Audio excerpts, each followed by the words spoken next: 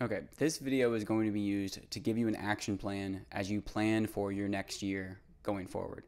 So I've been following, listening, watching lots of different people online, including some friends of mine who are helping other people kind of redesign where they want to go in the new year.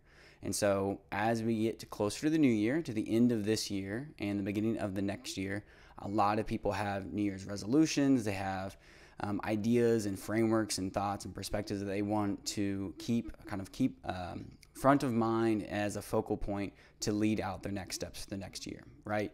So this video that I'm going to share with you today is going to just walk through some quick and simple steps that I like to focus on with, with people um, that I work with in coaching, but also just kind of general frameworks that I use for myself when we reflect on the last year that we've lived in this in this time of our human experience and kind of where we want to go in this next year of our human experience, right? So I'll, we'll kind of walk through three to five different points here and then hopefully give you those tools to think about as you consider redesigning your next future in the next year and um, really set forth some, some great intention in that. Okay. So one of the frameworks that I like to use with folks is a lifestyle audit. That lifestyle audit will actually walk through all the different aspects of your life and, in my opinion, wellness to see how well balanced you are and how well appropriate you are actually giving attention in the things that you want to pursue in your life. So, how well are you doing with sleep? How well are you doing with career, your relationships, your partnerships, um, your business, your own mental and emotional well being, your spiritual well being, your physical health, your nutrition? Kind of doing a, a pretty solid audit in depth with yourself to see how you are doing in all of these different areas of your health and wellness in your own lifestyle to see okay are there areas that you're neglecting? Are there areas that you've neglected over the last year that you would like to bring back up to um, a higher position or actually elevate and improve? Are there areas in which you had actually set forth intention last year that you wanted to improve and they just went by the wayside because you had things that came up you had a family member that got sick um, maybe you had a, a, child that got sick for a while and you kind of neglected yourself in, in order to take care of them for a while, which is very common. And so, as we kind of look towards rebuilding for the future and changing maybe where we are now and set forth a new vision for the next year, I just like to do a, a lifestyle audit with people to help them kind of walk through where have I been, where am I at, and where do I want to go and then compare and contrast what has worked well in my journey, what has been challenging in my journey, what tools and techniques and tips and hints can I then leverage to help me get where I want to go in a better way. This is kind of like a very simplified coaching method um, that is used a lot of times, but it, it's it works really really well, and it's it's used a lot because it works really really well. So you can do this by yourself. You can do this with a friend. You can do this with a family member, as a trusted colleague or something like that. Um, so just spending the time in the trenches to actually do the deeper work to kind of wrestle and walk through some of those things to see like where you have have actually failed to see where you have actually had success and maybe even an unexpected success okay so as part of that lifestyle audit it's also going to include more of a time audit that time audit looks like okay, walking through the last 24 hours of your day or the average of the last two weeks and to say, okay, how much time, energy, focus, and your overall attention are you giving to these different areas of your life? How much time are you spending on your phone, on your tablet, on your computer, in your sleep, in nature? How many hours of a day are you spending in these different areas of your life? And is that where you want to show up? Are you giving enough time to your relationships? Are you giving enough time to your kids? Are you giving are you giving enough time to yourself? Perhaps none of these things are actually in balance in comparison to where you feel most aligned. And so, if we do believe, which I do believe, that the body can heal itself whenever we give it the best chance with that alignment to allow the energy flows to happen best, that alignment in our lifestyle compared to our actual personal values and our personal ethics allows for those things to be kind of prompted to support our actual pathways inside of our body as an external manifestation of healing on the outside. In a very complicated manner, um, but in a simplified manner, okay, if we if our actions match our words and our words match our intentions on the inside of what we really want to do, then all of those things can be aligned, right? And that's that's kind of our best flow state of how we want to live our lives together. So whenever we have those things aligned, we're kind of on point. We're kind of ready at the at, uh, kind of moving forward in our life in the way in which we really want to live and really want to show up in the world. And that's kind of how we all want to show up. That's how we want to best live and serve and, and give and receive in this world. And so, if we can give ourselves the time and attention to do that with a lifestyle audit and a time audit, and to really push back the hours that we're just consuming social media or the hours that we're getting kind of frustrated and, and dealing with all the emotional chaos of news and media cycles that are literally designed to, to make you frustrated and to grab your attention, then we can kind of own that attention back. We can take back some of that attention. We can start to have greater control over our news consumption, take greater control over our own personal health and wellness, as well as our mind, body, and spirit connections better improve through that as we gain better insight and, and awareness for our own our own journey on this planet. And so there are many things across our day. We all have 24 hours, right? But many things across our day that take our attention, that literally pull our attention away from us being able to connect with our own body and with our own self and our own decision making. And so that could look like any number of different forms of different kinds of substances or different things that grab your attention or things that are driving your dopamine signals one way or the other, right? And so giving a time audit to yourself as a gift, right? Happy Thanksgiving, happy happy Christmas, happy Hanukkah, happy holidays. Give yourself the gift of doing this, just spending 2 to 3 hours walking through this exercise to see where you are today compared to where you have been, compared to where you want to go, right? To see what changes need to be made in that time audit so then you can accomplish the goals that you really want to set for yourself.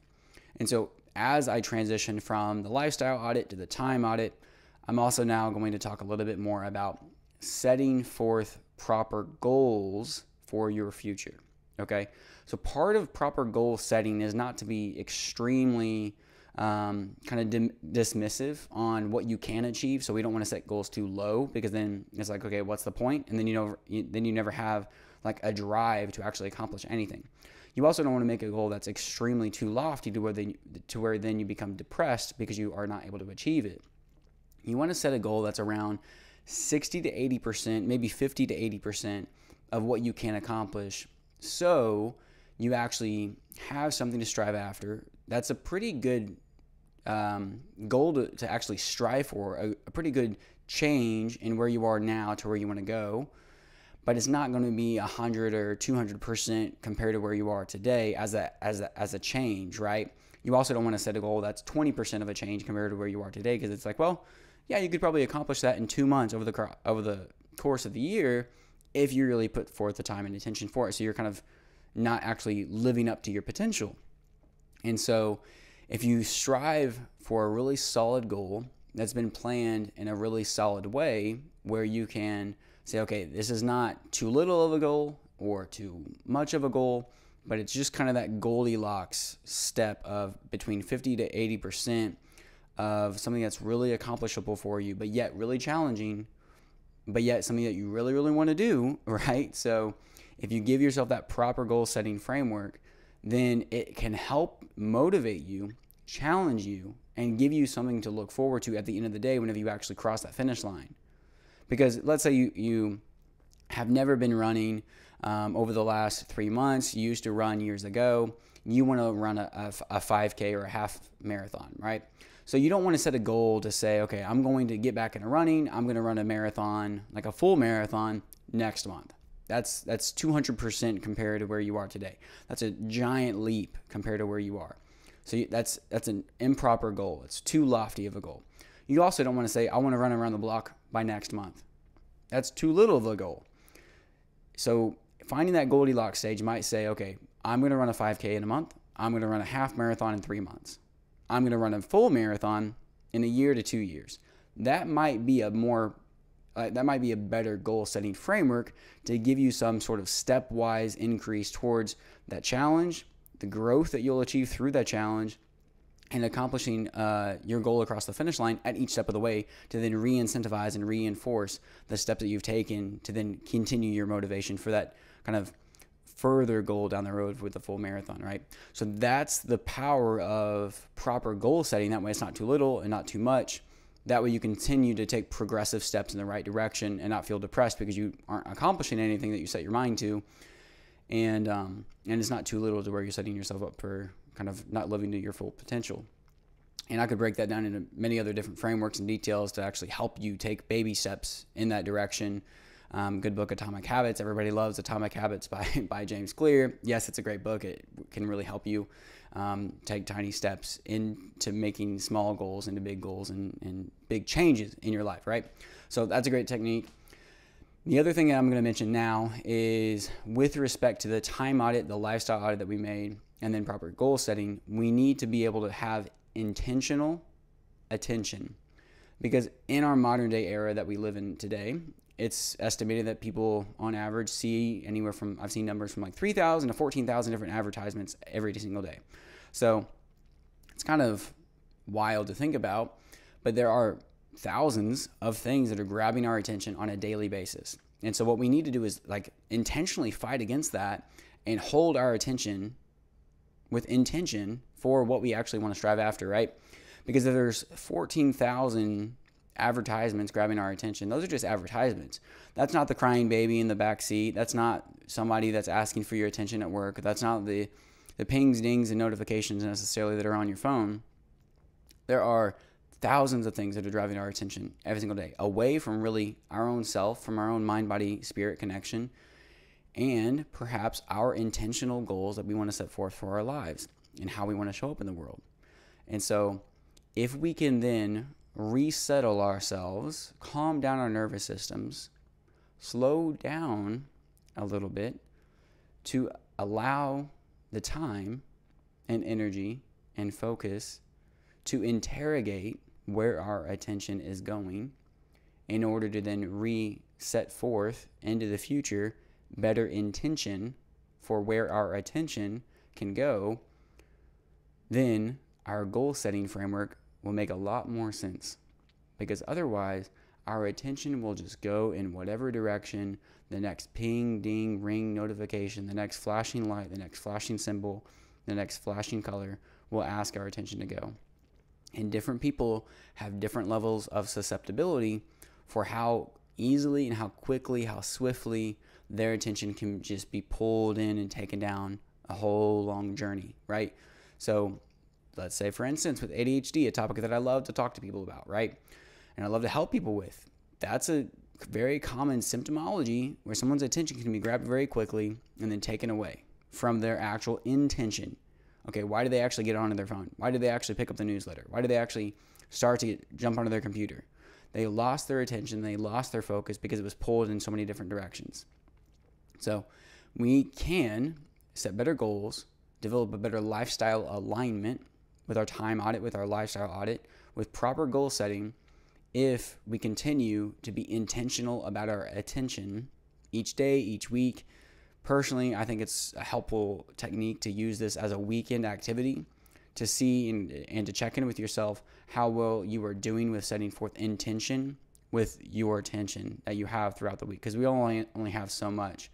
Um, there's a lot of analysis paralysis that we deal with today because cognitively and psychologically, there's all these different frameworks and ways in which advertising and media and marketing have kind of paralyzed you and petrified you with the overabundance of choice, which then kind of makes you afraid and panicked, and then you're not able to actually make a, a proper decision that's actually how you want to show up in the world because you're just terrified by all the different options, right? And so, intention with your attention, that way you're not just constantly distracted by everything and then being pulled in a thousand different directions. The last thing that I will mention now is not the time audit, not the lifestyle audit, not the um, not the opportunity to set proper goals or intention with our attention, because it's all the things that we already talked about as a reminder. But this last part now is what I'm kind of just going to call an awakening for deeper ethical, moral values. because I think there's a lot of people that are at the stage nowadays over the last three to four years where we have had to interrogate our own self, our own beliefs, our own thoughts and feelings and values and perspectives on so many things with respect to kind of where we've gone over the last three, four, three to four years, right? So we've had to really ask ourselves, why do I believe the thing that I say that I believe? Why do I want to behave in the way that I think that I should behave in this moment? Why do I want to have this opinion in comparison to what I've been told to believe? We have all had to look ourselves in the mirror and discuss with other people why does all this matter? Why do all these different opinions, why do all these different thoughts and feelings and emotions in media, in our lifestyles, at the dinner table, at work, why do all these things really matter? Why do I feel so passionate about my opinions? Do my opinions even matter? Where am I actually standing on with my foundational ideas on these on these perspectives, right? So, whenever I was growing up in high school, there was this giant kind of surge, um, at least in the time culturally, it felt like everybody was just like really just thriving towards an endless hedonic treadmill, right? So there was this giant push for YOLO. You only live once. Everybody was just chasing, living for pleasure, living for yourself, chasing whatever made you feel comfortable, whatever made you feel good, whatever made you feel satisfied in life, right? So chase whatever you want, live like there's no tomorrow. You only live once. Have all the fun you want. Don't worry about tomorrow. Don't worry about all the consequences. Don't worry about all the, the side effects. Don't worry about um, having actually like any intentional proactive decision making for the future. Just do what you want to do now in the moment. And that's a, my opinion, probably the truth as well. It's a terrible framework to to lead young young kids, right? So whenever I was in high school, that was really rising up a lot. And I think we also see that somewhat in the millennial generation too, that everybody jokes around about that they're kind of lost in a little bit of a ideological framework because they were led way too far into the into the YOLO um, model for living their life culturally. That's just that's not my opinion. That's just something that's been observed. And so now nowadays i think we're kind of at this stage where everybody's like you know yolo didn't work out. Um, i think yolo didn't work out for anybody. I'm watching other people not have any good framework no good foundations. They don't really know why they believe what they believe. I'd rather have a solid foundation for my opinions. I'd rather have a solid foundation. That way if anybody comes to ask me i can be prepared. I can be at the ready i have a reason to stand up for what i believe in right that way if you're questioning about this thing about your health and wellness, if you're questioning about that thing about your faith or religion or your perspective on how humans should be able to interact in their community without certain supplies or or other things, right? So fill in the gaps. I'm sure you can fill in the gaps yourself. And so if we can then understand the chance that we have to interrogate our own ideas, to to sit with ourselves, to look in the mirror, to really decide our morals, our ethics, our values, how we want to live, and why we want to live that way. Why do we believe the way that we believe about all of these different ideas and perspectives that culturally, um, socio- socially, economically, all of these different um, organizational ideas are then being pushed forth over the last few years, right? So there just seems like there's this tidal wave of ideas that's coming at us, and just all of this giant wave of information that's over overwhelming us as humans at the individual level. And so, what do we do with all those things? What do we tie ourselves to? What do we climb up? What do we build in order to use as a solid framework to withstand the tidal wave? To actually be able to stand above the tidal wave, right? To be able to withstand any push of information that feels false, that feels un- untrue, to feels like like like it lacks evidence or it just doesn't stand in the way that we want to stand in the world, right? And we will let it go by us. We don't have to necessarily get super worried about it. Maybe we want, we want to talk about it every once in a while, but we don't necessarily be, need to be needing to be extremely overthinking about this thing because we also know like where we stand and why we stand for what we stand. And so I've been someone my whole life kind of abnormally where I've always been like, okay, I need to have a thousand degrees of information behind the scenes of why I believe what I believe. So I, I understand I'm abnormal in that way, and that's fine. But what I also understand is that it's beneficial for us to know why we believe and, and kind of why we stand up for the things that we want to talk about and the and the way that we think about things, right? So if you have a certain philosophy around food and nutrition, or if you have a certain philosophy around faith and religion, or a certain philosophy around why you should wake up at this time of the day, or why you should go to sleep at that time of the day, or how you show up at work, then have a reason to stand up for that. Have a reason behind the scenes that is your foundational framework, your ideas, the information that has led you to led you to believe that thing to be true. So I say all this because I think whenever I was growing up, YOLO was all, all across the scene. I thought it was extremely frustrating and kind of depressing because I was like, all these people are just chasing the hedonic treadmill. They're going to get exhausted. They're going to get they're going to feel ruined with their emotions and mental health, and they're not actually able to like align themselves with something that is grounded and they can feel strong with and confident and and supported with, reinforced, right? And again, I know I'm, I know I am abnormal in that, right? But again, I think it's a solid framework that makes a lot of sense. And so I'm not saying, hey, do as I do. I'm just saying, hey, I think this framework makes sense in general for most things. And so, in comparison to YOLO, as we set forth intention for the next year, really sitting with ourselves and saying, okay, with all the things that I've been told to believe, what do I actually believe? What do I actually want to believe? And having a resource, having a framework, having behind the scenes information to reinforce your belief system, I think is, is extremely helpful.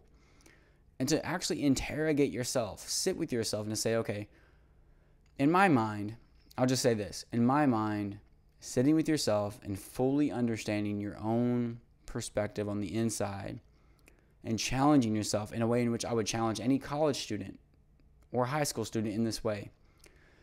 In a world that is pulling and, and craving, driving your attention away from you, you have to consistently fight your fight for your attention to drive towards the things that are never changing. Drive your attention to better understand the things that are unwavering. To question and to interrogate, to explore, to adventure, to discover all of the things in which you can understand that are true, that are noble, that are valuable, that are meaningful, that are unwavering, that have tested the, that have tested the time, that have uh, ah the phrase is not is going to lose me right now. Um, the things that have lasted for overtime, right? So the things that have been here historically, the things that have been have remained true for humans over thousands of years, the things that are never going to change, and the ways in which our society is best supported to live, to thrive with one another in community, perhaps is maybe one of those things. What are the things in which you have been told that actually feel false, that lack evidence, that kind of are built on quicksand instead of a solid brick or cement framework? What are ways in which you can actually reinforce your own belief systems to know why you believe what you believe? Maybe you need to ask like a thousand more questions about this thing that you thought that you believed in order to actually know if you believe that thing.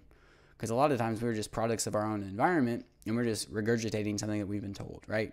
So go on your own journey to better understand all of these different things and the depths to those things that you say that you believe, that you've been told to believe, the things that you think that you believe in comparison to YOLO, because I think YOLO was pushing people towards focusing their attention on all the things that actually don't matter. Those things might be fun. Those things might last for a temporary time amount of time, for pleasure or whatever else you want to call it, but they're not going to last. And so, at some point over the last three to four years, I think there has been a great awakening for individuals who are trying to refocus their attention on things that they would intentionally like to pursue that are true, noble, valid, valuable, that stand the test of time. There we go. That's the phrase I was looking for. That are actually very, very meaningful for them in their lives. I can't tell you how many people I've talked to who have been like, oh, you know how great it would be if like I just got like 12 friends of mine and our families and we built like a commune and we all lived off the land and off the grid. We had like our own garden, we had our own teachers, we had our own school, we had our own physical fitness activities and all this different stuff. I'm like, yeah, that'd be great. Like, yeah, all of that sounds fun and, and enjoyable and awesome and, and, and solid, right? But you have to understand, like, those people who probably have never even thought those things existed would never have even fathomed with their imagination to build that kind of a lifestyle outside of the last three to four years. That tells you that the last three to four years has then sparked all this different thought perspective for them that has then led them to want to design their life in a different way because they're pursuing something that's actually meaningful, because they're pursuing something that's actually purposeful that they want to build for the future. But they wouldn't be able to do that if they didn't use a framework. They wouldn't be able to do that if they just nonchalantly went after goals, nonchalantly allow their attention to go in whatever direction. No, those people that are actually redesigning, revisioning their life for the future, they're setting forth attention, they're setting forth intention with their attention.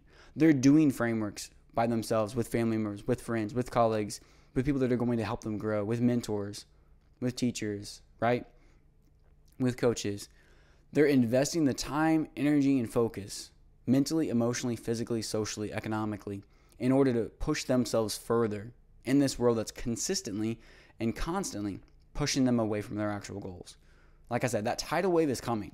That tidal wave of information, of emotional kind of cacophony on social media or news and media today is pushing you down and it's heavy. It's never uplifting. I like think about that news and media is highly like very rarely ever uplifting to you as like as a spiritual person. You are a human creature. That human creature has a capacity for spiritual awareness. News and media has never maybe maybe has never is too much does not regularly uplift your spiritual awareness. That is not something it does right? That is not it that is not its business model. Its business model is to shove you down in order to make you insecure to drive more attention for you going forward in the future. That way, you depend on the news more, you depend on the information more, and all the things, right? I could go into further details of that, but that's not my goal today. My goal today is to actually give you a framework to help you set forth intentional decision making to redesign, to revision your life going forward for the future. So, the things I've talked about today, I've been a little bit more long winded than I wanted to, but the things that I've talked about today would be the lifestyle audit to look at all the different parameters of your actual life and wellness and, and all the things in your life that you want to pursue, that you have pursued in the past, to compare where you have been, where you are today, and where you want to go. Then looking more at a detailed approach on a time audit for your last 24 hours, the last two weeks, and just in general, the ways in which you typically spend your time to see if those things match where you actually want to go, and then what needs to change. Then, understanding proper goal setting, striving for a goal that's not too much, not too little, but it's in that perfect middle range that's both challenging you, helping you grow, and reinforcing your steps moving forward. And then I kind of talked about more of that YOLO perspective of which I grew up with, and then maybe you did as well, or you you at least observed perhaps. And so it's like kind of that raging 1920s vibe where everybody was just kind of doing their own thing, and it didn't really lead to a lot of depth. It didn't really lead to a lot of meaningful pursuits, a lot of great developments. And so, over the last three to four years, we've really reawakened ourselves, many of us, not all of us, but some of us, to truly, truly sit with ourselves and say, what does all this really mean? What what do I really believe? What do I really want to believe? How do I really want to live my life? Who are the people that I really want to live my life with? So this is just one small comprehensive framework, one small aspect of some of the ideas and topics and, and conversations that I have with people whenever I'm talking about revisioning for the future, kind of really having that lifestyle alignment that I think is so powerful for us across our mind, body, spirit connection and how we show up in the world for ourselves and for others. This is just one aspect. I might share or actually even create more videos in the future about some of these things. If you like this, I would love to hear some feedback. We'd love to see some likes, some comments, uh, some shares on social media. That way we can actually share something a little bit more positive and uplifting and promotional to help more people, right? To get more people to see uh, more positive messages as well. So if you think any of this made sense, if you want to spend more time with this yourself or even with, with me as a supportive guide along the way, more than happy to help. But in general, I would just really enjoy to see some comments or some feedback to see what made sense for you, um, what things you like the most, maybe some pushback even to me to say, okay, I didn't like this part. I would reframe it like this. I would rephrase it like this. I would maybe say this instead of that. Um, or maybe you wanted me to spend more more attention and more time on a specific area that I maybe went over really, really, really uh, quickly, right? So maybe you wanted me to dive into more detail with certain things, which is great. All that feedback is extremely helpful. So I'm going to share this video. So wherever you see this video, I don't know how you're going to see this yet, but I'll probably share it across all the different networks. Um, I just want to thank you for your time in which you've spent watching this video and dealing with me talking very fast and then changing my changing up my tone every once in a while and then kind of slurring over my words, which I do because I have a lot of thoughts all at once. So I appreciate your patience in that. I appreciate your time and attention spending with me in this moment. Um, your time is very valuable to me. Your attention is very valuable to me, and so I don't want to take it for granted. I want to appreciate it for what it's worth and uh, its value to me in my life because, you know, I mean, I, I just spent whatever time this was for this video, and I mean, my my hope is that it leads others to something that's more better for them in their life, right? So, whatever comments you want to share, I'm willing to hear it out. If it's like, oh, you're extremely upset and you want to talk to me about you thought all this stuff was garbage, maybe send me a private message about that instead of posting that online. That would be kind of helpful for me and probably everybody else, perhaps. Um, we can talk through some of those things. So um, I fully understand. I fully expect everybody to be respectful. I'm just kind of joking here. But again, I just want to thank you for your time. Please like, please share, please comment, please um, give me some feedback on some of these ideas. And if you like this content, um, I'd be happy to share more content on some of these things because I have a lot of thoughts, a lot of in depth ideas on most things in this life. Don't often dive into things that are more philosophical or existential or kind of more of the spiritual awareness side of things. But um, I dive into those topics on a regular basis. Personally, I just don't often share it online. So um, let me know what you think, and um, I'll see you next time, I guess. All right, thanks.